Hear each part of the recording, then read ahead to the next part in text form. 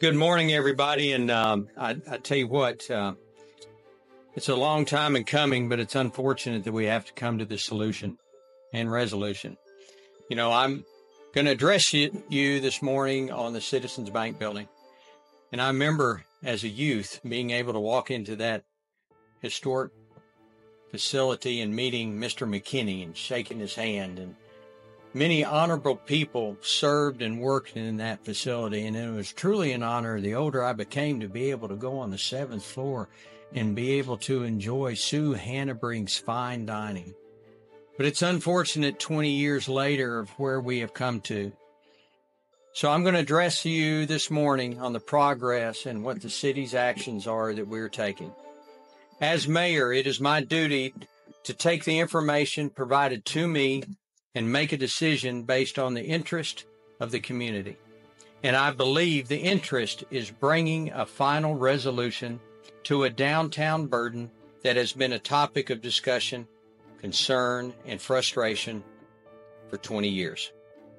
Late yesterday afternoon, we provided a seven day notice of emergency condemnation intentions to legal counsels for Bruce Burrow one Main Square LLC, and Andy Smith of Laurel Park LLC, the two known entities associated with the former Citizens Bank building tower located on 100 West Washington. After thorough research and multiple meetings with engineers and construction professionals, it has been determined that the most practical, expedient, and safest action to reopen Main Street is to move forward with an emergency condemnation process to remove the structure. While this process runs its course, we will continue to research alternatives that would allow the reopening of Main Street. At this time, we simply don't have the professional confidence that a partial remedial effort will allow that even after a significant investment by the city. Early next week, we plan to begin exploring options for removal of the building. What we plan to learn is what the best, most efficient, and safest options for demolition are, and what that might cost.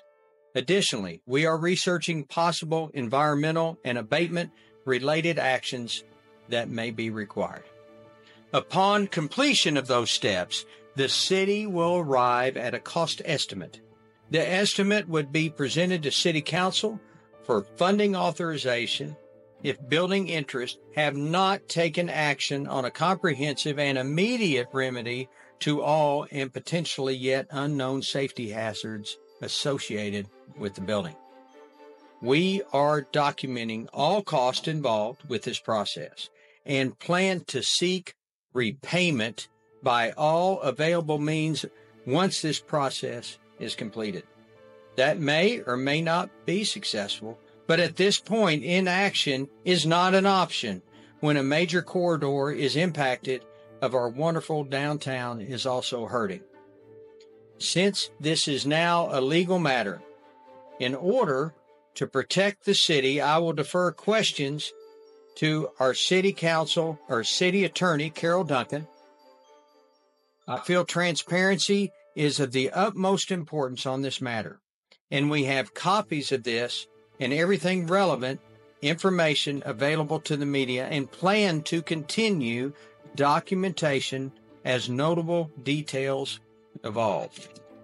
My hope has been that this building could be saved and redeveloped. I hope this spurs immediate action, but the time for that to be an option is quickly closing. Issues surrounding the structure have simply gone on far too long, and we will not stand while stand by while businesses are suffering. It's about safety, it's about our community, and it's about the residents of this community. It is a complicated issue, but we're going to do what is best for our residents, our first responders. No more half measures it's time for resolution. I appreciate you coming today in attendance. I'm now going to turn it over to our communications director, and she will be able to provide you the areas where if you have any further questions, you can go for it. Thank you so much for your time today. I appreciate you. Thank you. Thanks, fellas. Um, as you know, uh, media, if you'll, as you look around the, the room, you'll see several of our directors with the city who have all worked pretty hard on putting this, this plan of action together. It has been quite an effort and, um, I, I'm glad that they're in attendance today too. And as the mayor said, we have packets of information that uh, some of you have already made some requests and those are available as you uh, walk out the door. And we have, um, um, you know, you, you, have, you have my phone number. If you don't, uh, it's, it's, uh, on the website and you can, you can email me however, get in touch with me. Not that I can talk any more than than uh, than the mayor can, but I I can tell you who who can. And Carol Duncan is our legal counsel, and there may be other legal counsel involved. So we want to make sure that we do the exact right thing on this lengthy legal process. Thanks for your attendance today.